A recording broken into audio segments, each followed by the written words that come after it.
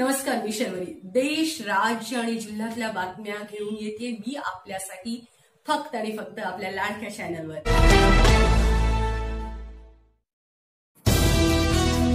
अयोध्या वारीसाठी शुभेच्छा पण मनसेचा पोस्टरबाजीतून शिवसेनेला टोला राज्य राखीव पोलीस दलाची व्हॅन उलटून वीस जवान जखमी. आंबेनळी घाटात कार दरीत कोसळली. चालकाचे नियंत्रण सुटल्याने अपघात.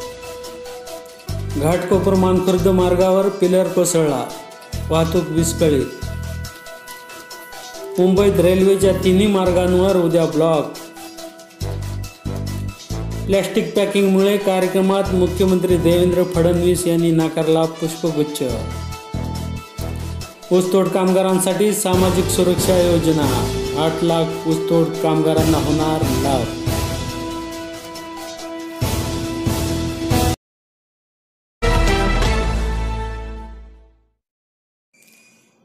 शिवसेना पक्षप्रमुख उद्धव ठाकरे सामनातून आपले मत व्यक्त करतात. तसेच आपली बाजू मांडतात. सामनातील अग्रलेखाच्या मुद्द्यावरून आता ओवेशी यांनी उद्धव ठाकरे यांच्यावर घणाघाती टीका केली आहे. शिवसेना पंतप्रधान नरेंद्र मोदींना घाबरते. त्यामुळे त्यांनी आपला जनाधार टिकवण्यासाठी अग्रलेखांच्या माध्यमातून मोदींवर टीका करण्याची रणनीती अवलंबली आहे अशी टीका ओवेशी यांनी केली आहे. तसेच शिवसेनेमध्ये हिंमत असेल तर त्यांनी अग्रलेख लिहायचे थांबवून नरेंद्र मोदी आणि देवेंद्र फडणवीस यांच्या सरकारमधून बाहेर पडून दाखवावे असे आवाहन ओवेशी यांनी दिले आहे.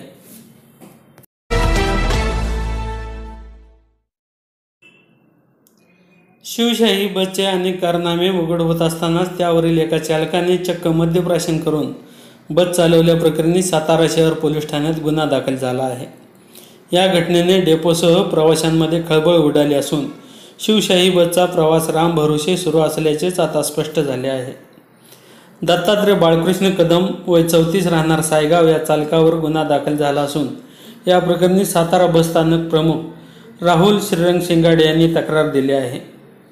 याबाबत अधिक माहिती अशी की तक्रारदार हे बस स्थानकामध्ये पाहणी करत होते. त्यावेळी सायंकाळी सात वाजण्याच्या सुमारास शिवशाही शिवशाही बस क्रमांक एम एच चौदा बी जी सोळा चव्वेचाळीस पुणेहून साताऱ्यात आली. तक्रारदार शिंगाडे यांनी चालकाला वाहन चालवण्याचा परवाना गाडीचे कागदपत्रे मागितली व चालकाला त्याचे नाव विचारले. यावेळी चालक नाव सांगत असताना अडखळला व त्याच्या तोंडातून दारूसारखा वगैरे वास आला. यावेळी यावेळी शिवशाहीवरील बस चालक दत्तात्रय कदम याला बस स्थानकामध्ये नेण्यात आले. तेथे त्याला मद्य सेवन केल्याबाबत विचारले असता त्याने मद्य सेवन केले असल्याची कबुली दिली. यावेळी चालकाने तसे लेखीही लिहून दिले. दरम्यान वरिष्ठ अधिकाऱ्यांशी बोलणे झाल्यानंतर या प्रकरणी शहर पोलीस ठाण्यात तक्रारही देण्यात आली. ही सर्व घटना दिनांक सोळा रोजी घडली आहे. शिवशाही बस चालकांबाबत अनेकदा तक्रारी होत असल्याचे वास्तव आहे. अशातच सातारा शहर पोलीस ठाण्यात यावरील चालकावर दारू पिऊन एस चालवण्याचा गुन्हा दाखल झाल्याने प्रवाशांच्या सुरक्षिततेचा प्रश्न ऐरणीवर आला आहे. भारत निवडणूक आयोगाच्या निदर्शनानुसार मतदार यादी विशेष संक्षिप्त पुनरीक्षण कार्यक्रमाअंतर्गत सहाय्यक मतदार नोंदणी अधिकारी प्रदीप शैलार यांनी जिल्हाधिकारी कार्यालयात बोलवलेल्या बैठकीत गोंधळ घालून व्यत्यय आणणाऱ्या पाच मतदान केंद्रस्तरीय अधिकारी बी एल ओ यांच्यावर आज पोलीस कारवाई करण्यात आली आहे. तसेच पुढेही मतदार नोंदणीच्या कामात कर्तव्य कसूर करणाऱ्यांवर भारतीय दंड संहितेच्या कलम तीनशे त्रेपन्ननुसार तसेच निवडणूक कायद्यातील विविध कलमांतर्गत सक्त कारवाई करण्यात येईल. असे जिल्हाधिकारी तथा जिल्हा दंड अधिकारी व्ही ना काळम पाटील यांनी स्पष्ट केले. अल्पवयीन मुलीवर बलात्कार केल्याप्रकरणी अंकलकोप येथील आरोपी स्वप्नील गायकवाड यास दहा वर्ष सक्त मजुरी आणि सात हजार रुपये दंडाची शिक्षा थोपवण्यात आली. जिल्हा व सत्र न्यायाधीश सुप्रिया सापटणेकर यांनी शनिवारी हा निकाल दिला. खटल्याची हकीकत अशी सुनील गायकवाड हा पीडित मुलीवर एकतर्फी प्रेम करीत होता. पण मुलीने त्यास नकार दिला. त्यामुळे त्याने तिच्या वडिलास व भावास जीवे मारण्याची धमकी देत तिला घरी बोलवले. तिथे त्याने तिच्यावर बलात्कार केला. मोबाईलवर तिचे अश्लील फोटो काढले. हे फोटो इंटरनेटवर व्हायरल करण्याची धमकी देत प्रेमसंबंध सुरू ठेवण्यास जबरदस्ती करू लागला. याच त्रासाला कंटाळून तिने शेवटी भिलवडी पोलीस ठाण्यात फिर्याद दिली. सरकारतर्फे सहाय्यक जिल्हा सरकारी वकील रियाज जमादार यांनी काम पाहिले. त्यांनी एकूण बारा साक्षीदार तपासले. किरकोळ कारणावरून चाकूने प्राणघातक हल्ला केल्याप्रकरणी आरोपी संतोष धनपाल काळे वय सदतीस वर्षे राहणार वारनाली गल्ली नंबर तीन विश्रामबाग सांगली यास सांगली येथील जिल्हा व सत्र न्यायाधीश पेरमपल्ली यांनी दोषी धरून पाच वर्षे सश्रम कारावास आणि दहा हजार रुपये दंडाची शिक्षा सुनावली आहे. सरकार पक्षातर्फे अतिरिक्त सरकारी वकील अरविंद देशमुख यांनी काम पाहिले. हा गुन्हा एक एप्रिल दोन हजार पंधरा रोजी वारणाल येथे घडला होता. या कामी संजय नगर पोलीस ठाण्याचे कर्मचारी श्री बाबासाहेब काटकर व पैरणी कक्षातील कर्मचाऱ्यांचे सहकार्य लाभले.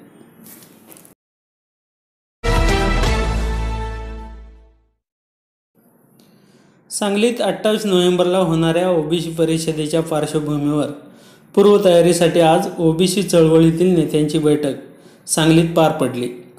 यावेळी कार्यकर्ता प्रशिक्षण शिबिर व ओबीसी परिषदेच्या पूर्वतयारीबाबत चर्चा करण्यात आली. यावेळी प्राध्यापक बाबुराव गुरव प्राध्यापक नामदेव करगणे प्राध्यापक Subhash Dagde Shashikant Gaikwad doctor Rajendra Mali advocate Vasudha Kumbhar OBC परिषदेचे सुनील गुरव आदी उपस्थित होते.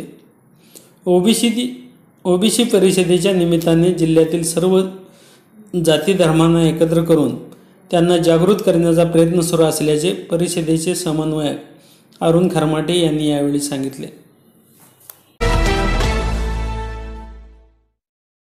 कडेगाव तालुक्यातील रायगाव येथील केन ॲग्रो साखर कारखान्यात साखर आयुक्तांनी मालमत्ता जप्तीची नोटीस दिली आहे.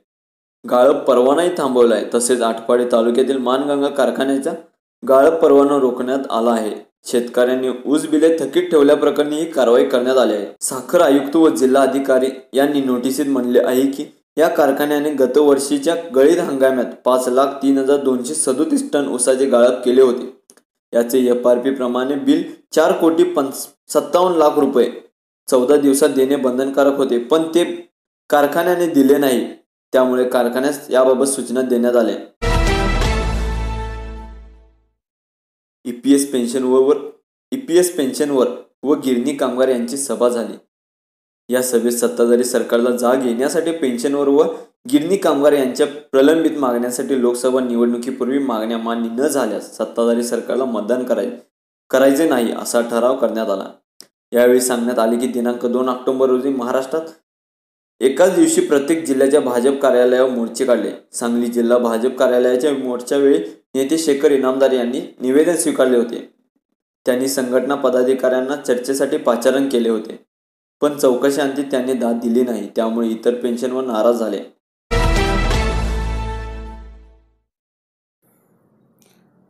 सांगली जुन्या धामणी रस्त्यावर नव्याने सुरू करण्यात आलेल्या युनिटी इंडस्ट्रीज या फर्मचा शुभारंभ उद्योगपती सी आर सांगलीकर यांच्या हस्ते करण्यात आला. यावेळी अतिरिक्त पोलीस अधीक्षक Shashikant Borate doctor Sharad Ogane doctor Nand Kishore Gaikwad doctor Mane doctor Koli sarpanch Munna Patil Sanjay Khare Uday Raut आदी उपस्थित होते.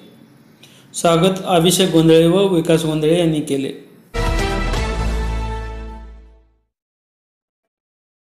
रेल्वेच्या तात्काळ आरक्षित तिकिटांना काळा बाजार केल्याप्रकरणी आशिष आशिष विजय रावळ याला रेल्वे सुरक्षा दलाच्या मिरज आणि कोल्हापूर येथील संयुक्त पथकाने शुक्रवारी जयसिंगपूर स्थानकात अटक केली.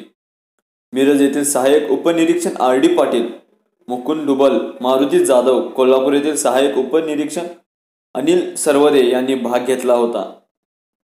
रावळकडून तीन हजार चारशे पस्तीस रुपये किमतीचे रेल्वे तात्काळ आरक्षित तिकीट व रोख चारशे रुपये जप्त केले.